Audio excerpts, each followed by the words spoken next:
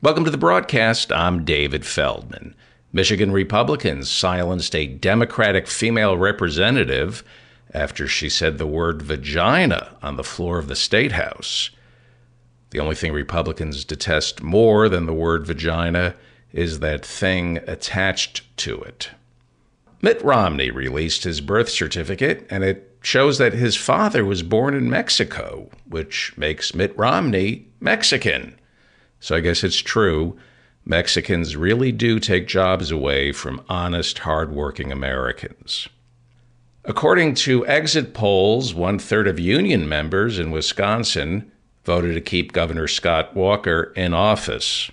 Smart move there, Wisconsin. Pretty soon, instead of Fox News, you'll be getting your marching orders from Foxconn. Speaking of Foxconn, despite promises to improve working conditions, another Chinese employee at Foxconn this week jumped to his death. Apparently, Apple is still working out the glitches in its new iNet.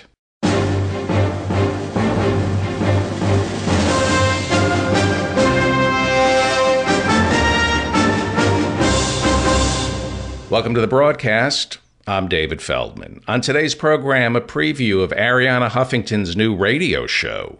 We scour the nation for highlights from this year's most inspirational college commencement addresses.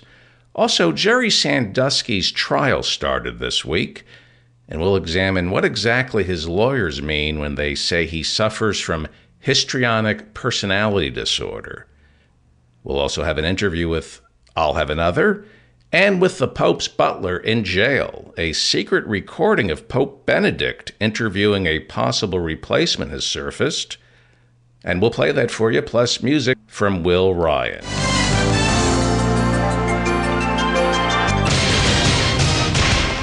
From the AOL corporate headquarters in New York City, it's the Huffington Post Radio Hour. And now, here's your host, the greatest aggregator of them all.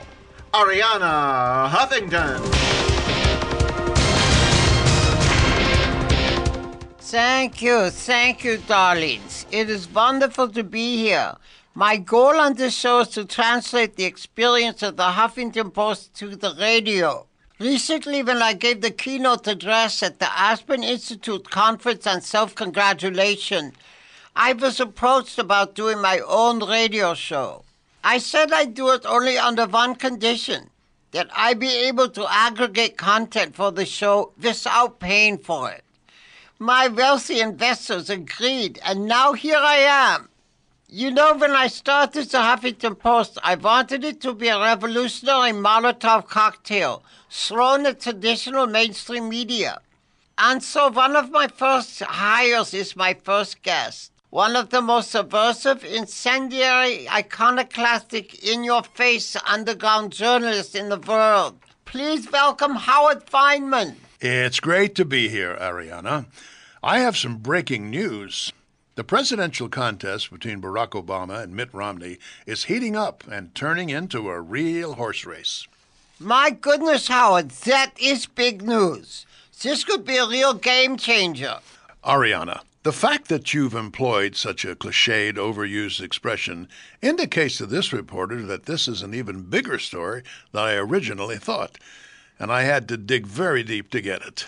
It began on Politico, was picked up by Drudge, repurposed on BuzzFeed, handed over to the Daily Beast, and then exclusively published on the Huffington Post. Congratulations on your scoop, Howard. Thank you, but I also have some other big news. Oh my, what? According to my sources, the conventional wisdom is going to hold steady for a while. Really?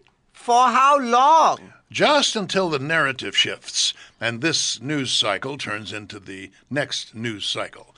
Then we'll know for sure if the horse race is a game changer.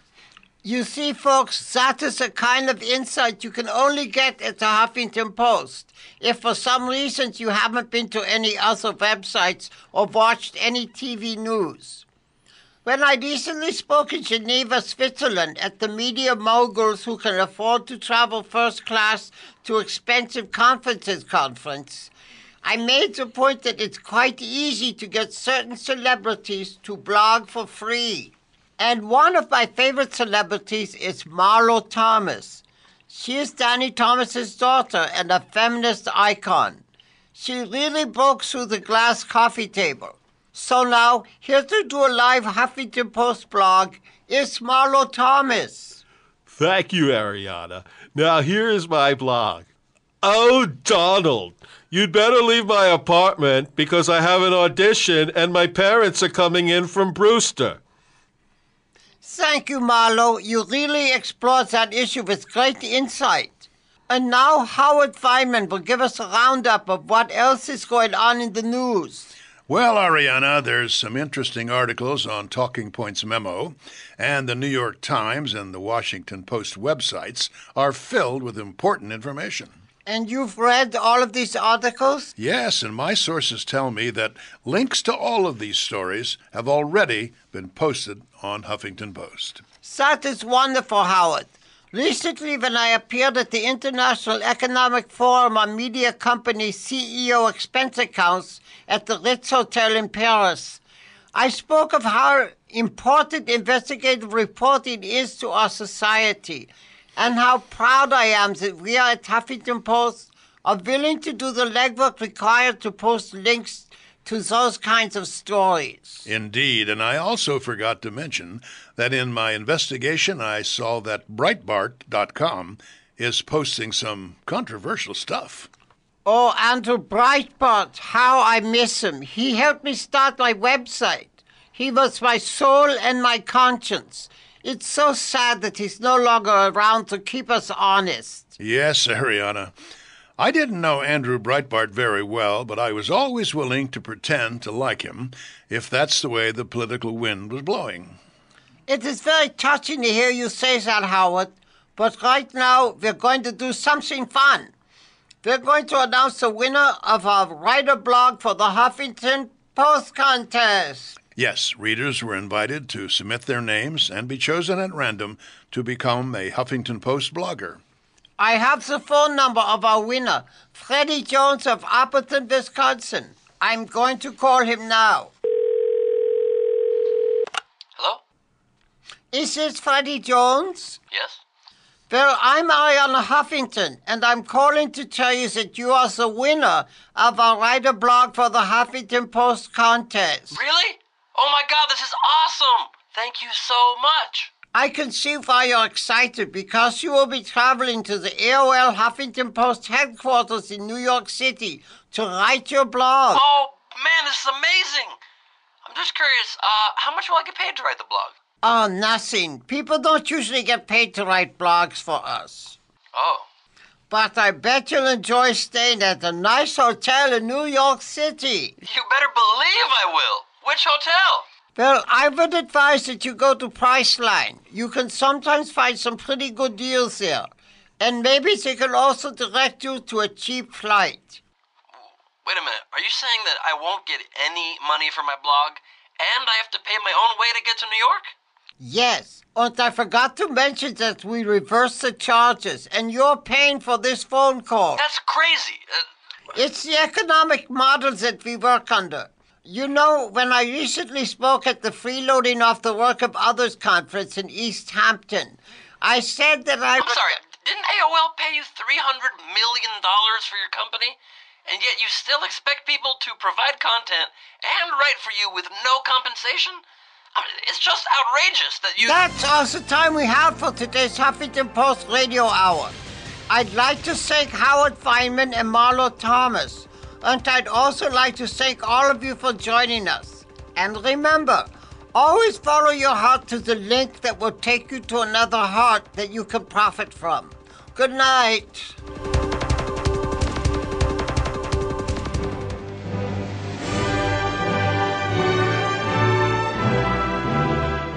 Graduates, parents, family, faculty, distinguished guests, and honorees, welcome again to Jeremy Kramer's Degrees of Excellence, where we go around the world gathering pieces of the most inspirational commencement speeches. First, Mr. Conan O'Brien, June 2nd, 2012, at the University of Chicago. Mr. O'Brien is jumping up and down and pinching his nipples. He's licking his finger and touching his eyebrow. Mr. O'Brien, Harvard, 85. is now looking inside his suit jacket and running his ghostly pale hands through his red mop of hair. Mr. O'Brien is rubbing his nipples. Still rubbing. Oh, he's moving his tie with his lapel. And rubbing his nipples. More rubbing. Rubbing and pinching. Now just rubbing again. Back to the hair. Now to the jacket.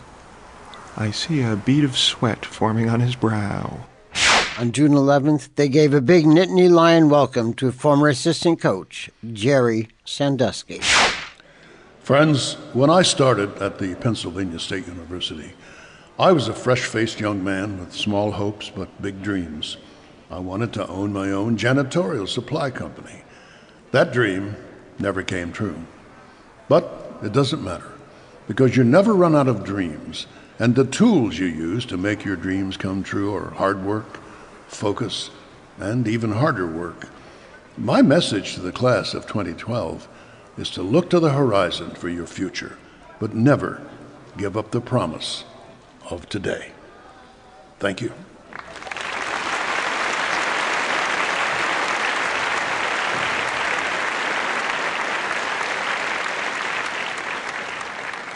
Mr. Jay Leno at his alma mater, Emerson College, in Boston, Massachusetts, May 28th, 2012.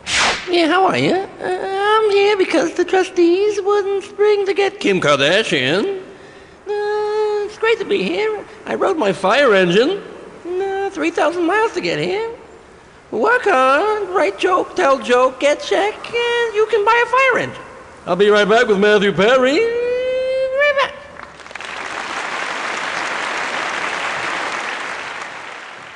And Liberty University in Virginia, on May 27, 2012, was graced by the presence of the Honorable Christopher Christie, Governor of New Jersey.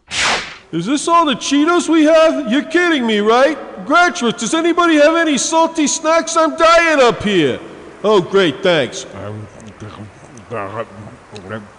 Ah, so, class of 2012, you're effed. Hear me? You're effed. There are no jobs, and your liberal parents won't give up their cheap union health insurance. There's no hope except to cut taxes to the bone. That means entitlements, Social Security, welfare, everything. I mean, it's not all that bad. I'm just busting your balls a little bit. But otherwise, no, really, we are all effed. Thank you. It's been an honor speaking to you today. Are you going to finish that?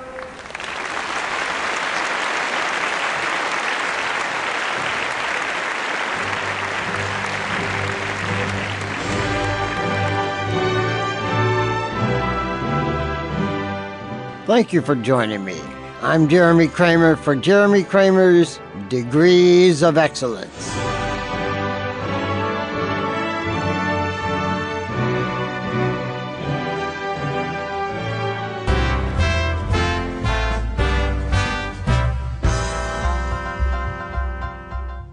This is the David Feldman Show. I'm Ben Gleib, sitting in for Mr. Feldman, who's been sidelined by the entire industry. This week, the trial of Jerry Sandusky got underway, with his defense team building its argument around the notion of histrionic personality disorder. Here to discuss that disorder is histrionics expert, psychologist, and psychiatric therapist, Dr. Norm Undernostril. Welcome, Dr. Undernostril. Thanks so much for having me on the show. Of course, let's start with the obvious question. Certainly. It's off the rack, DKNY, and then I have my dry cleaner take it in a little bit to make it fit like this. That's not what I was going to ask, Doctor. Oh, Could you give us a quick overview of exactly what a histrionic personality disorder is? do you know what? Why don't I just bring in one of my patients? Mel Gibson? No. Amanda Bynes? No. Feldman's mother? No. My mother? No. I give up. Who is it? The state of Florida. I'm sorry? The state of Florida. The state of Florida. Um, welcome to the studio. Uh, thank you, Mr. Gleib. Uh, this is truly, truly one of the greatest honors of my life. Sure. I'm just unbelievably touched. Of course you are. I'm welling up. So you suffer from histrionic personality disorder, is that right? I don't think so, frankly. I think if you look back, you'll see that my responses have been perfectly proportional to the circumstances. Honestly, Florida, you managed to create a constitutional crisis out of some hanging chads. I don't think you can argue that made any sense. Okay, maybe once I overreacted. but- Elian Gonzalez, Castro's cold, Versace's death, guy having sex with an alligator on the national news. Okay, it's been a rough 20 years or so, but I don't think you can diagnose George Zimmerman, the Stand Your Ground law, mass voter purges over four suspected cases of fraud. You're not being fair. You have to take what a- about Excuse me, Dr. Undernostril. You can't ask the state of Florida to come on the show and then not let it speak. I mean, Thank have you, you, no Mr. respect? Gleason. Thank you. You're very don't welcome. tell me how to deal with my patients? Hey, Feldman told me I'm in charge. So as long as it's my show, I will decide who speaks and when they do so. That's right, Doctor. Just because you treated me for the last quarter of a century doesn't mean you get to dictate what I say. Florida, you calm down, and Gleib, you back off. Don't you talk that way to my friend Mr. Ben Gleib, Doctor. P- please sit down, both of you. Don't get sucked into the drama, Mr. Gleib. This is exactly how. I'm not getting sucked in. You're getting sucked I in. am a trained therapist, Florida. Sit down. I will eat your face.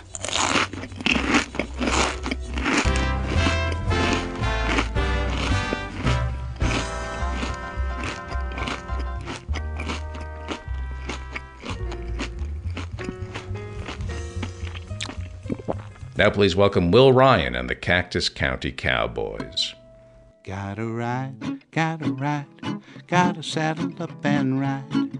Hate to leave your side, but it's trail driving time again.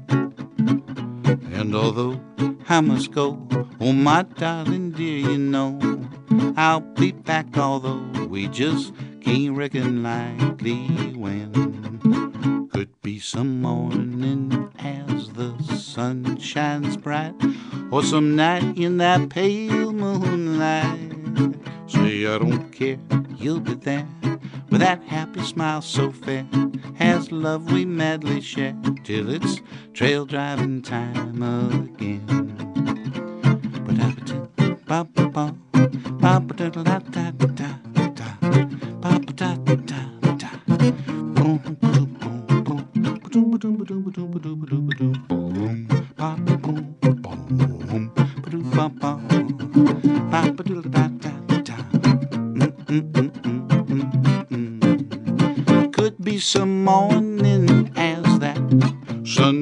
bright, or some night in the pale moonlight. Hey, I don't care, you'll be there with that happy smile so fair.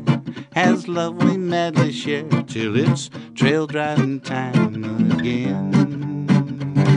Mm, trail driving time again.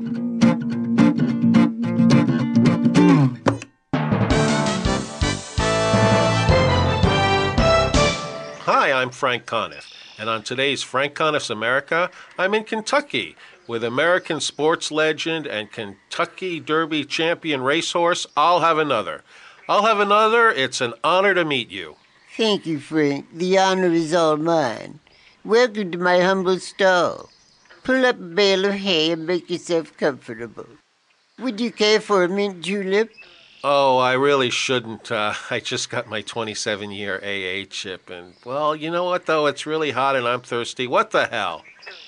Here you are, sir. I toast your health.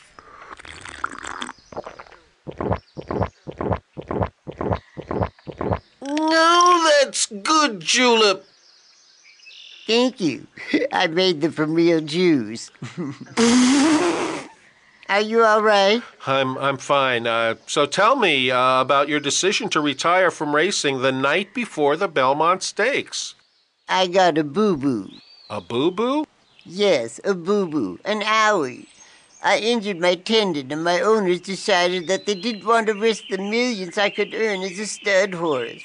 So you got out of the business to have sex and impregnate other horses. That's the best retirement plan I've ever heard of. Beat the 401k.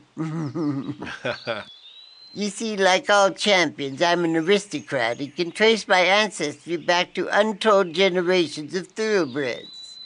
Therefore, my semen is incredibly valuable. I plan to spend my golden years creating a dynasty of champions. Talk about pressure in the bedroom.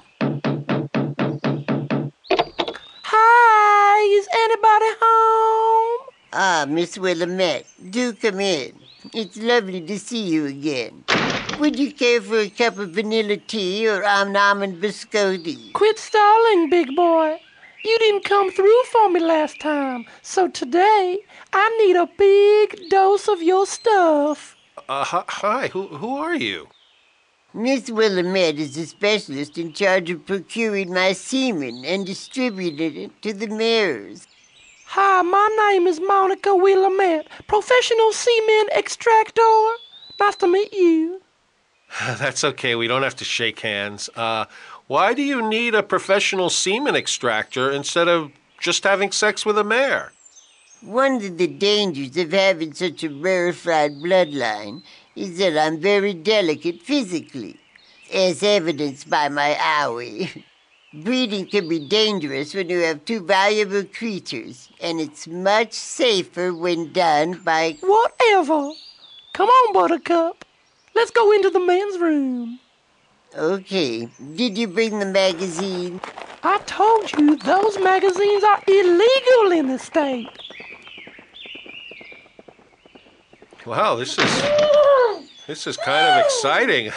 I've never been. To, Hello, sir. yeah, yeah, Can yeah. I can I ask you a favor? I guess. It ain't going so great in there.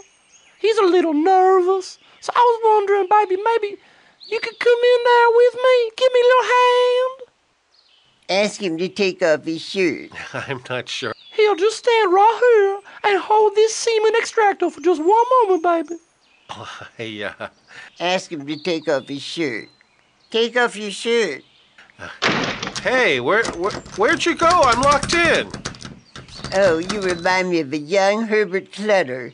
There only was a young Herbert Clutter. Hey, stop that! I'll release you, baby, as soon as you, um, release him. If you know what I'm saying. Hey, I don't like that look in your eye. Oh, this is Frank Conniff coming to you from the stall of Kentucky Derby champion racehorse. I'll have another. Ow! Yuck! Ooh! Your breath smells like Clay Shaw. Ride me, Big Frank, ride me. Uh, well, when in Rome.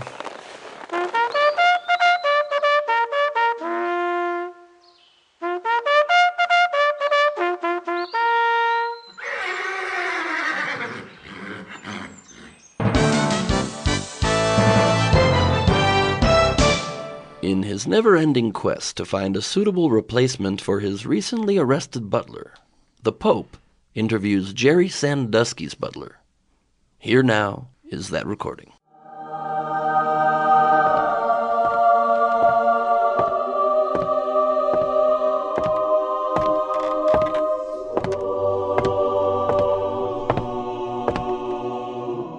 Welcome, my son. Please have a seat next to Galileo's skeleton. This is a great honor. Yeah, yeah, yeah, whatever. Just put your beverage down wherever you want. No, not over there. That's my rare display of Jesus bone chips. You'll get a ring on it. Put it over there. Uh, here? No, not there. You might tip over the 12 ounce coffee cup full of Pope John Paul II's blood.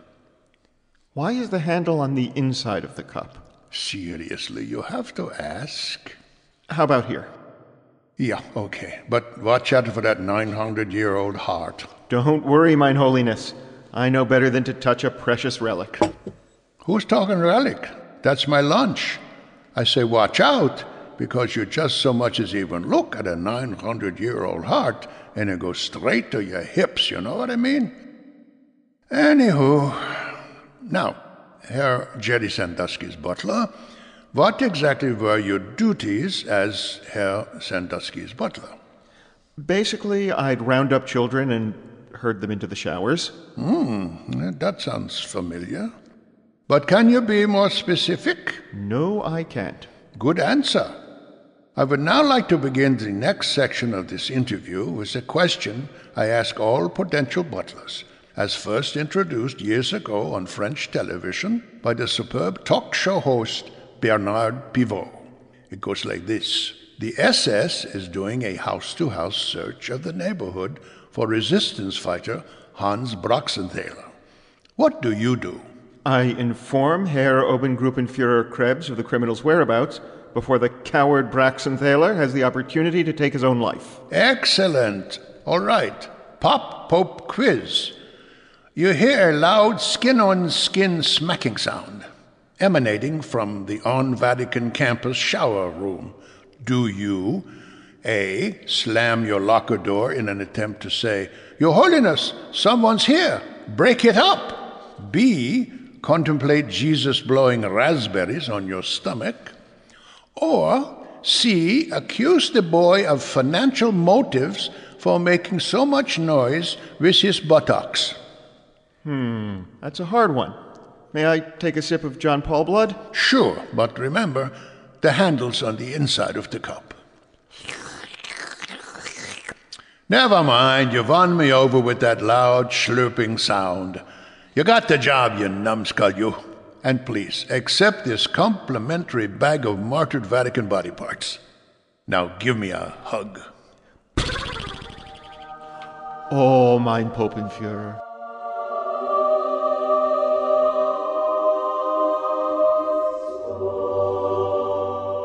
This has been The Pope interviews Jerry Sandusky's butler.